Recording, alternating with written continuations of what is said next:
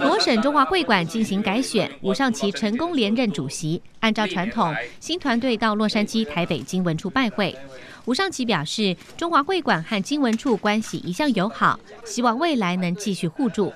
我们传统的做法就是支持我们中华民国，就国父孙中山闯到第一个自由、民主、民主和国家，所以我们。红华侨已经前辈都是一样，都永远支持我们中华民国，让我们中华民国的国运昌隆。中华会馆已经迈入第一百二十六个年头，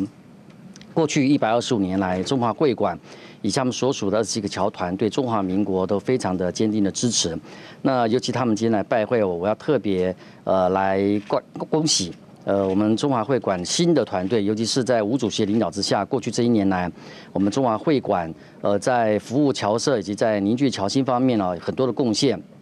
新闻处长夏继昌感谢中华会馆坚定支持中华民国的立场，也希望双方继续合作，促进洛杉矶侨社的团结。哦，是是是，